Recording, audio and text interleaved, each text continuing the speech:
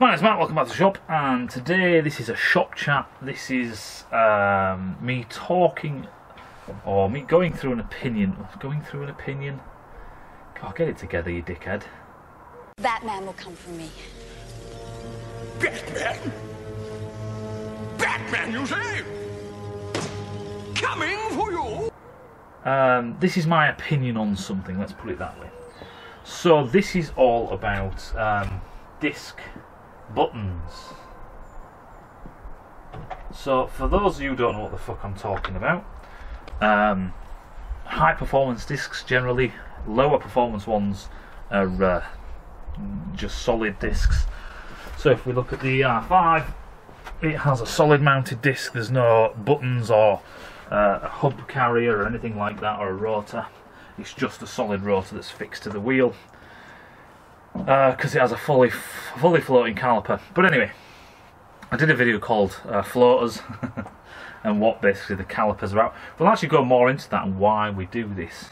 Um, but basically, I'll put some pictures up and stuff. What you have is you have an inner an inner hub carrier, and then you have a rotor on the outside. Should have done that a different colour. And then what you have is you have these buttons they're basically just pins like this. Um, that's shitly done in it. And then they have uh, a flat washered surface, a flat shouldered surface on both sides to basically clamp the disc. Why do we have this? Well, this is to stop vibrations and stuff as you clamp onto these discs. The alignment is never going to be perfect, so this allows the disc to move. It also allows the disc to thermally expand without pulling on the hard mounts for your wheel gets rid of a lot of squeal and vibration and stuff like that. Um, some of these buttons nowadays they have what they call a is it the T?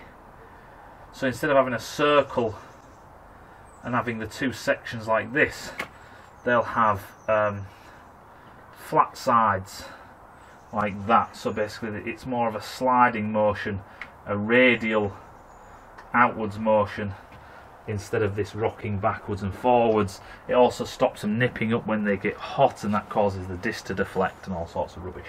But there are two types of buttons. There are riveted buttons, so this is where they do it at the factory. It's just like any kind of rivet, you force through one side of it and then you squash it just like chain rivets in a sense, a bit different than that. But you know, these are broad rivets. And there's the other type where basically it's a rivet that goes through You've got wave washers or a washer just to dis uh, distribute the load. And then there's a, an actual E-clip. Um, I'll show you some pictures and stuff. There's actual E-clip ones. This means that you can replace your rotor without having to fuck around with your hub. Um, we'll go through, there are ways you can rotate these buttons to clean them up a bit. I've seen people spray them with oil. yeah, great. Uh, brake clean, you know, a brake cleaner, that's usually the best thing to use. Carb cleaner, you can get away with that as well. Um, but basically it's just to clean all the shit out, so these, basically these buttons can actually move and do their job. Uh, to free them up and stop it all going titty wampus. Um, what I have seen a lot of people doing on YouTube on these videos is they drill out these rivets and then replace them with E-clip versions. Of the buttons where they have this folded over rivet face, you're just going to drill them till they look something like that.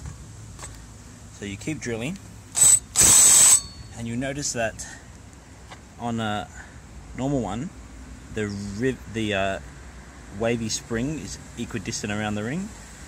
Then on one that I've drilled out, it's kind of popped all the way to one side. Now you see the underside, and we're going to put this washer on the opposite side and then the C-clip is going to come in and be pushed on there. Oh, I don't like that. And the reason why I don't like that is because the manufacturers basically decided to specify a riveted version versus the E-clip.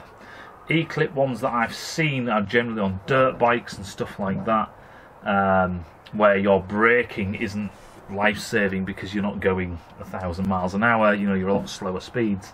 The bike weighs a lot, you know, a lot less. And there's a few dodgy. I, I the way I see it is there's these dodgy companies that are selling these buttons.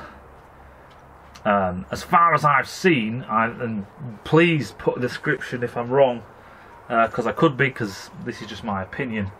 Um, But I haven't seen where Brembo or anyone will sell you buttons that fit rotors that were actually originally riveted rotors. It's easy to do, you just drill out the rivets and you take them apart. Really don't like the idea of that. They have specified and they have clearances and the tolerances and the load on the rivets and all the rest of it. And these companies are selling these shitty E-clip ones. If your bike comes with an E-clip one, don't get me wrong, then yes, they are designed to be replaceable. And someone has calculated that all the loads and the preload and the washers and all the rest of it and all the tolerances and clearances and stuff are correct to allow this to actually move and operate properly. I just this whole drilling out discs. It's anywhere you start fucking around with discs. To me, it's like if your buttons are all crusty and knackered or something shit like that, then chuck away the fucking disc. You know what I mean? If they're really causing you a problem, you've got brake squeal and all the rest of it, replace your disc. Hope that makes sense, and I'll see you in a bit.